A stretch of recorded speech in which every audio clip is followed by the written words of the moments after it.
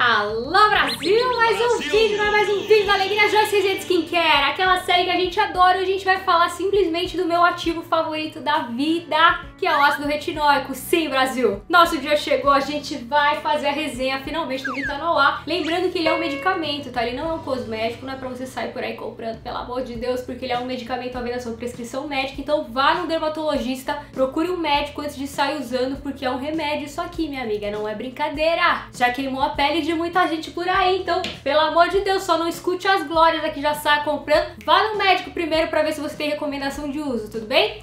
Vamos embora, estou muito feliz, estamos num cenário novo. Gostaram do vídeo que vocês acharam que a gente está no escritório do Vitor? Temos mais um lugar pra gente gravar aqui nessa casa. Vamos começar, é agora.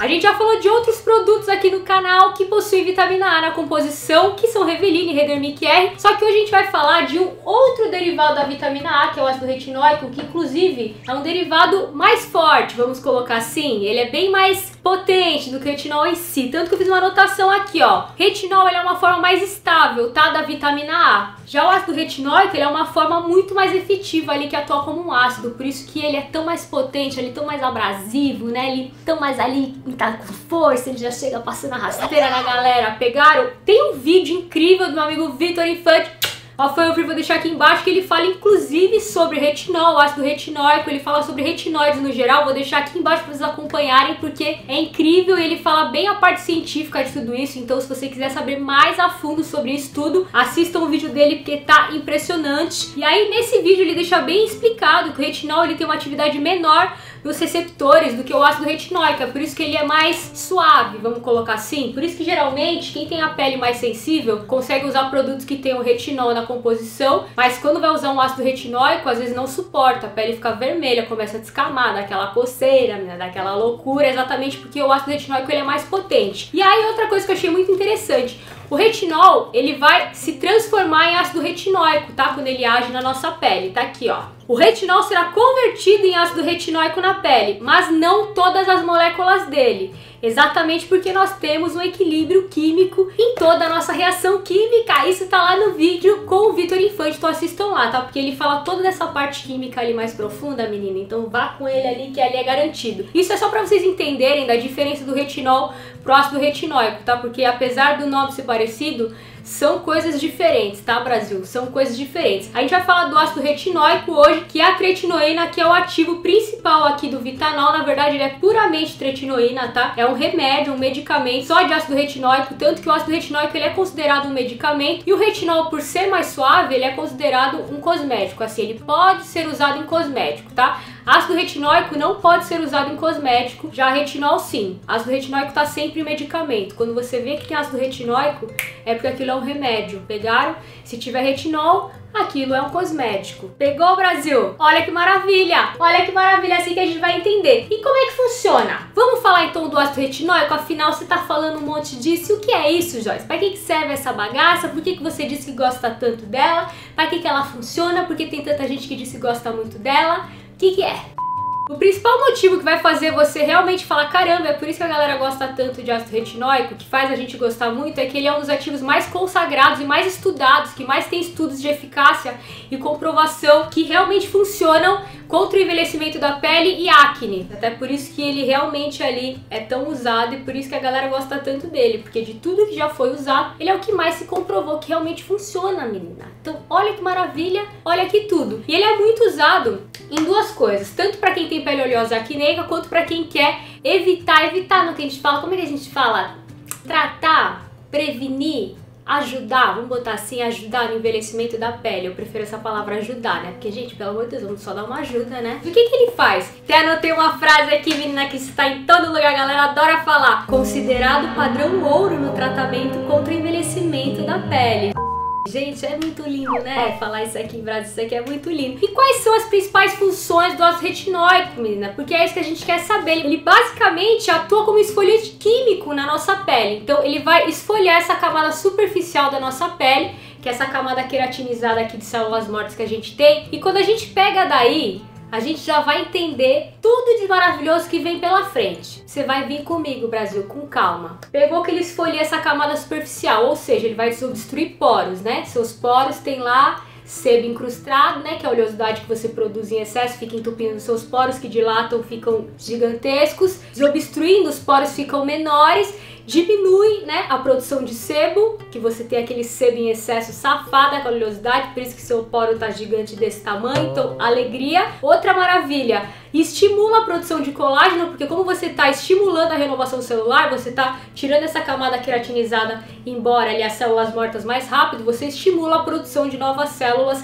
estimulando a produção de colágeno também. Outra coisa, manchas, se você tem manchas superficiais na pele, essas manchas vão embora também, porque você está acelerando ali o processo de renovação celular, Brasil. Gente, é uma coisa boa, é uma coisa boa atrás da outra. Pera que eu vou ler mais aqui, porque, gente, é tanta maravilha. É por isso que ele ajuda muito na acne, tá? Exatamente porque ele vai desobstruir poros. Esse fato dele ser um esfoliante químico é tudo, é tudo. A textura da pele, no geral, fica melhorada, exatamente porque você está estimulando a renovação celular. Então pensa que se você tem uma cicatriz, ou uma mancha, ou uma marca, você está estimulando aquela pele, aquela camada superficial de ir embora, vem vindo uma pele nova ali embaixo, e aquela cicatriz, aquela coisa que você tem aqui por cima tá saindo. É óbvio que não vai sair 100%, por exemplo, porque a gente tá falando de um medicamento, a gente não tá falando de um tratamento em consultório, tá? Então tudo que a gente fala em medicamento é uma coisa superficial, tenham em mente, tá? Nada é um milagre aqui, pelo amor de Jesus Cristo, porque tem gente que acha realmente vai passar um creme, menina e vai mudar, mudar com creme, que a gente vê que realmente a galera acredita nesse tipo de coisa.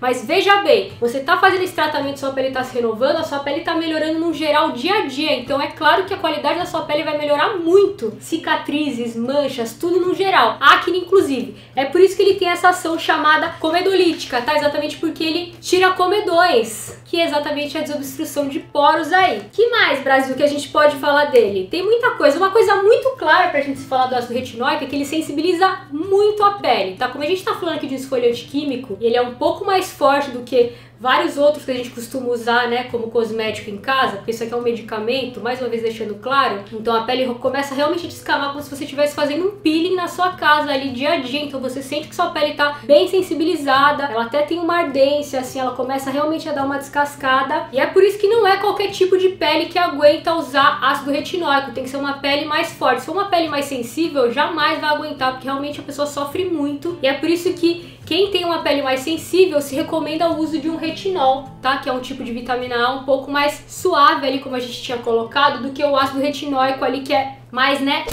tapa na cara ali, chute. Pegaram, né? Então, se você já tem uma pele mais sensibilizada, provavelmente seu dermatologista não vai te recomendar usar um ácido retinóico porque ele sabe que não vai ser legal para você. Aí que tá. O Brasil chega, vê lá a resenha da blogueira, chega na farmácia e compra. No outro dia passa na cara. Passando na cara, como passa na área dos olhos ainda, que é mais sensível. Queima a cara, no outro dia tá lá no jornal. Comprei por causa da blogueira e é por isso que nossa profissão tá cada vez mais lascada. Exatamente, também tem muita blogueira que também não ajuda, né? Também não vou falar porque realmente tem muita blogueira que não ajuda, mas pelo amor de Deus, Brasil, vamos pensar quantas vezes já falei que isso aqui é um remédio e você ainda tá querendo comprar agora, tá com o site da farmácia aberta aí, pessoa safada?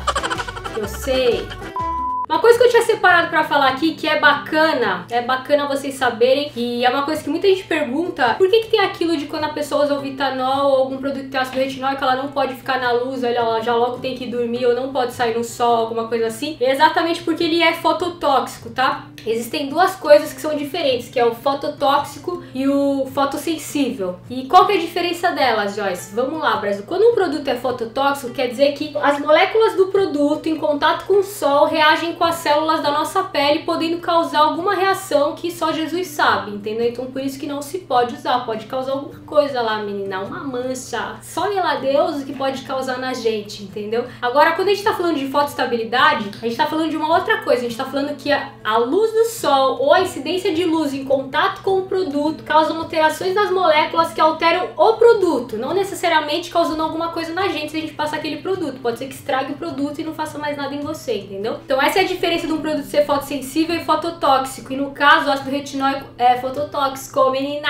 Então, por favor, pelo amor de Deus, você não me saia no sol Passou o produto, você vá dormir. Somente alegria. Claro que também naquela loucura, né, minha amiga? Claro que você vai poder dormir, fazer aquele seu último stories. Também não é pra você levar nada assim a ferro e fogo, como se estivesse à beira da morte. Cuidado. Tanto que quando você vai fazer um peeling, por exemplo, se você vai fazer um peeling na sua dermatologista, muitas vezes o peeling é feito com ácido retinóico, numa concentração de 5 a 10%, e você volta pra sua casa ali. Nem por isso ela manda você botar uma capa, né? Rose, bota uma capa, volta pra sua casa, não deixa nada vir.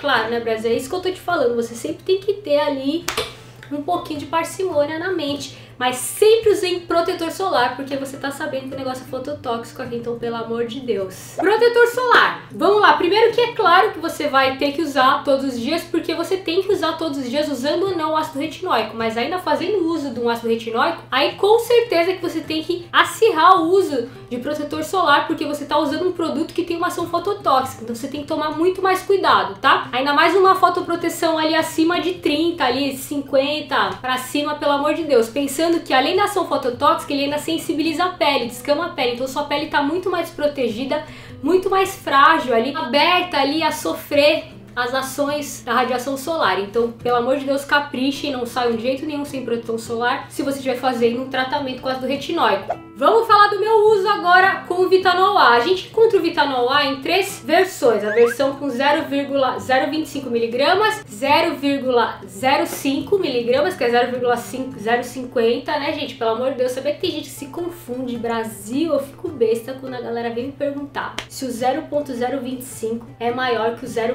0,05. Vocês acreditam?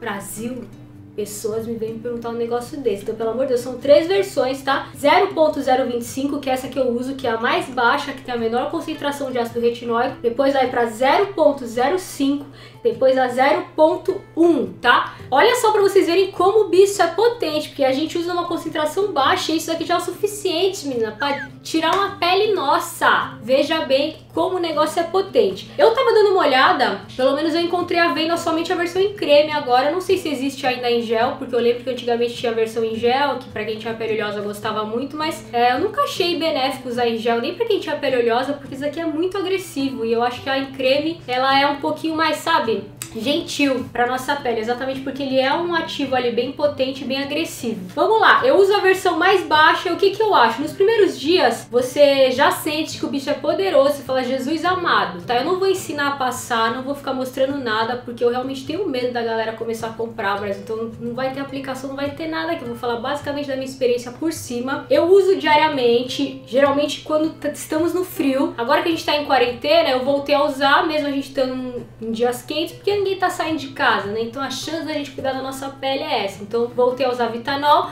O que, que eu faço pra minha pele não descamar? Porque como vocês podem notar, eu nunca tô com a pele descamando e não é uma coisa que eu gosto. Podem ter pessoas que querem ver a pele descamando, que quer ver se renovando, que fala, meu Deus, é assim que eu sinto que tá funcionando. Mas pra mim não é benéfico porque eu tenho que testar outros produtos pra vocês, fazer maquiagem. Se eu tô com a pele descamando, eu não tô com uma pele de qualidade pra poder fazer outros trabalhos aí, fazer outras coisas junto com vocês. Então, o que eu faço pra contornar isso é sempre usar um hidratante por baixo do Vitanol, então eu sempre uso um hidratante, recomendação da minha doutora Mami, tudo que eu falo aí é sempre recomendação que eu faço comigo, doutora Mami, que recomenda te amo, doutora Mami. Então eu passo um hidratante por baixo. Se eu sinto que minha pele tá começando a ficar queimando, sabe? Aí eu vou intervalo uso. Uso um dia sim, um dia não. Mas no geral eu usando um hidratante mais forte por baixo. E de vez em quando eu não use, sei lá, e dou um, um banho de cicaplast eu consigo ter essa ação do ácido retinóico de ter a minha pele renovada, é uma pele linda, que os poros ficam tudo e não ter a descamação, que é algo que me incomoda muito. Essa versão aqui que eu uso custa 38 reais em média. A versão com 0.05, que é acima da minha, custa 41 reais. E a versão com 0.1, que é mais forte ainda, custa 48. Então vejam que é um medicamento barato, é em conta. É barato a gente falar assim, tem um preço mais joia, né? Comparado a tanta coisa aí, menina, não lanche do McDonald's. É algo assim que a gente fala, menina do céu, até que é em conta. Mas lembrem que é a venda sob prescrição médica, então faça favor de ir no médico. E no mais, Brasil! Esse foi o vídeo que a gente falou do Vitanol Espero que vocês tenham gostado, entendido um pouco, aprendido mais um pouco aí sobre o ácido retinóico, que é um medicamento, é, tão joia, tão joia que botaram pra gente aí. Obrigada! Beijo, Brasil! Até o próximo vídeo. Coloque aqui embaixo qual é o próximo produto de skincare que vocês querem resenha, que vocês querem aprender um pouquinho mais sobre pra eu pesquisar tudo pra vocês.